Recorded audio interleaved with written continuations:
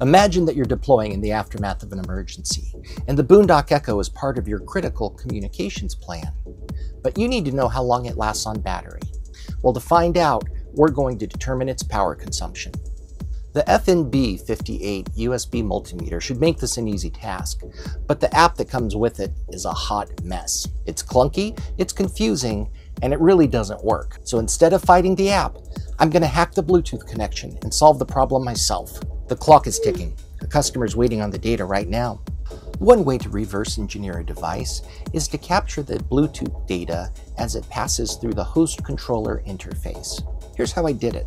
I started with the snooper built into every Android phone. I enabled Bluetooth HCI Snoop Log, and then I power cycled Bluetooth to enable it. I connected to the USB tester, which uses Bluetooth Low Energy for communication.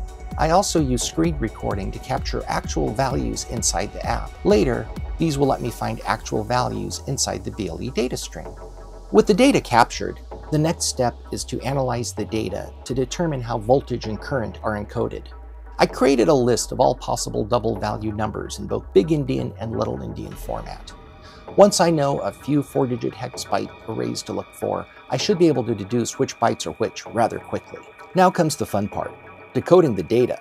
I noticed that the data packets were consistent in length and structure. Typically, sensor data is sent in a predefined format that makes decoding simple. By comparing the hex data with the readings displayed on the device's screen, I could map out which bytes correspond to voltage and current. I found that certain bytes represented the voltage and current when converted from hexadecimal to decimal and then scaled appropriately. And those bytes belong to data type 7. For example, the hex value 8813, when converted to decimal, becomes 5000. Now, if you apply appropriate scaling, divide by 1000, you get 5.000 volts. That's perfect. That's exactly the range of the USB V-Bus. There are several data types in each frame, the differential pair voltage, the impedance of the line, all things that we just don't care about right now. The only thing we need is data type 7, where the first byte gives you voltage and the second byte gives you current.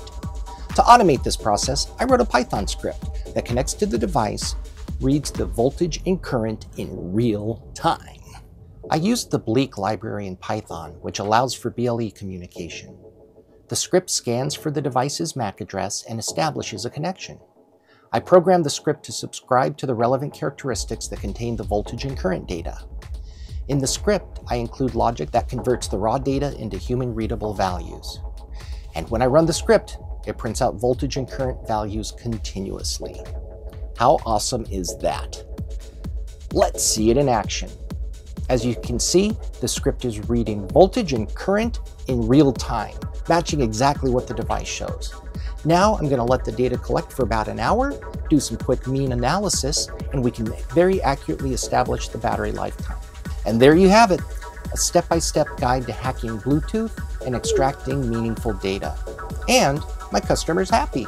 If you found this tutorial helpful, please like, subscribe, and share this with someone that you know. I've included a link in the description to the GitHub files and everything that I used in this tutorial video. I hope you enjoyed it, but it's just a start. Feel free to fork it and finish up the task. Boondock Technologies is more than just Boondock Echo. Please leave a comment if you have any questions or if there's a topic that you'd like us to cover next. We'll see you next time.